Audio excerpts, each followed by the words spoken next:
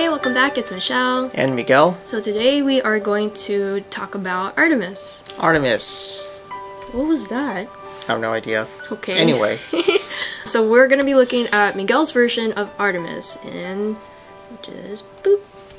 Yeah, so just a few interesting things to run down that maybe most people don't know about. One of the reasons I chose Artemis is that she's actually quite a fascinating goddess. And compared to other gods and goddesses in Greek mythology, you've likely heard about Hercules, Zeus, Athena, Poseidon, or Hades, I'm sure. But not so much is known about Artemis. Although there are a lot of stories and mythologies like every other god and goddess, so I figured I'd bring up the fact that, for example, uh, there was a story where Artemis fell in love with a mortal being. And Artemis, being a goddess of the hunts, there was this human who was also known for hunting, and he in turn also fell in love with Artemis. And at this point of the mythology timeline, it is quite punishable to be mingling with the humans. So, as punishment for falling in love with Orion, uh, Zeus sent a scorpion to sting Orion. He gets killed, and thus you have the constellation Orion's belt. He was stung at the, the belt area. Another fun fact about Artemis, why I chose her, is that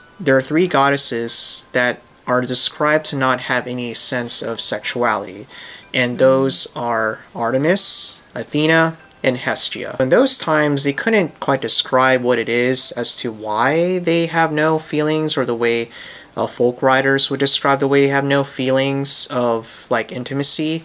In today's times, we label that as asexuality. So Artemis is actually asexual. Besides that internal reason, I like that Artemis is a goddess of the hunts, therefore she's a very physical character and this was a great opportunity for me to enhance my skills in drawing anatomy.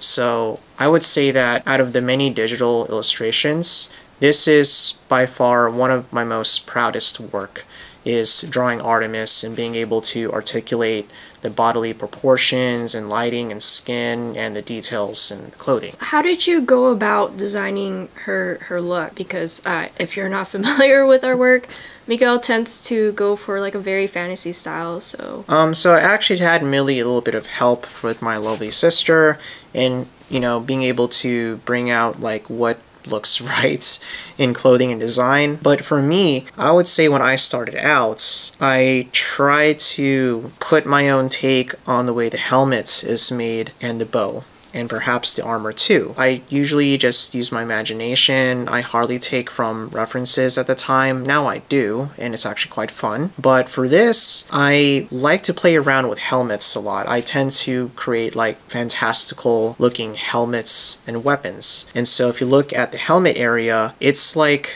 very otherworldly. So I did want to also emphasize that these are mythical and divine beings. So I figured, okay, well, it wouldn't be like that too familiar, so I purposely tried to make it fantastical and not that familiar to emphasize that these are celestial beings, they're not like from this world. That's the reason I made these uh, design choices. What I really like about how you approach this design overall, like I just I really like how you made her a very fierce like pose, like she is about to just nail somebody's heart. I don't know, or should should bow. And I really like the colors you picked here because I think I don't know if in some point we're watching this, but you did have like a different change of style. It was like kind of rough, but now this around this time it's a little bit cleaner. It's actually I, I kind of find this very like I could see this actually in an animated like scene. And so I really appreciate you kind of simplifying some details, really make it more solidified in terms of placing her in a time or space. So going back to the colors, it kind of does represent that sort of not purityness or innocence, but just kind of there's this association association with the stars or the, the galaxy and in association yeah. with the story of uh, Orion. Uh, otherworldly, I guess yeah, you could say. Yeah. Yeah. And it's kind of interesting contrast because she seems like a very fierce